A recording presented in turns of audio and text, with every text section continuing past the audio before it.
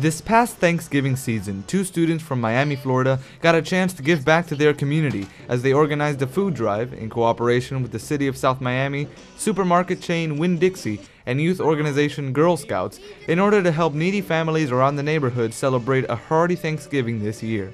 With this being the fourth year of the event, high school students Kathy Fine from Gulliver Preparatory and Gabby Haas from local South Miami Senior High spread the word to friends, relatives, and local community service clubs as they collected different kinds of food items beginning November 19th.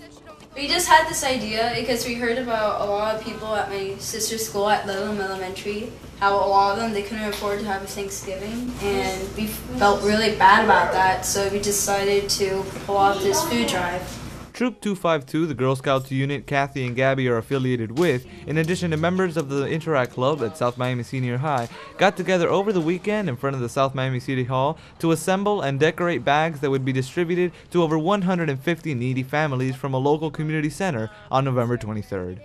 This year we had 150 needy families, which actually doubled from last year. Yesterday, Friday night, we had the Girl Scouts get together, and to make it more organized than it usually is, we had each family just bring a complete box.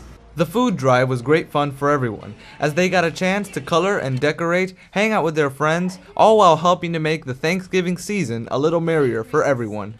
What was different about this year was that we wanted to get some more people involved, not just Girl Scouts, so we had high schoolers come together and we basically sat in front of City Hall and had our table out collecting cans. On distribution night, thankful families and energetic children contributed to an event that made all involved even more grateful for what they have and what they've given. Glad that uh, now needy family have a good Thanksgiving day. How do you feel about this uh, project? I feel very good, man. We're doing it for a really good cause. Yeah. Every family in South Miami is going to have a nice Thanksgiving. Job well.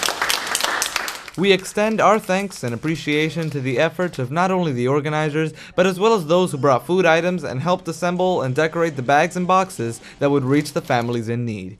This has been Tomas Monzon for Tomas at Large Presents.